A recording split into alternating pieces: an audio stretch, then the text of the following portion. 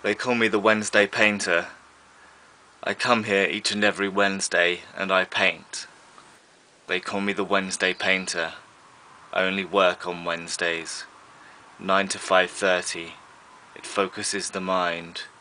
And at the end of the day I go home and see my wife and cat.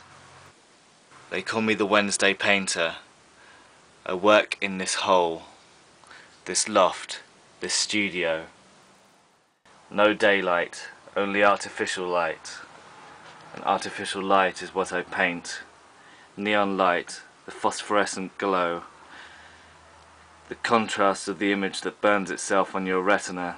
It's there when you close your eyes and go to sleep at night. The longer you stand and stare, the harder it burns itself, burns into your retina.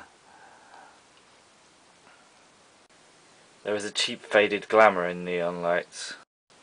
I find it too in outer seas and coastal towns.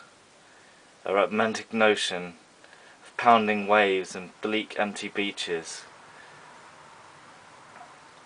Foreboding leaden skies overhead, a biting wind that stings your face. You send a postcard. Wish you were here. This is not home sweet home. There are no creature comforts here.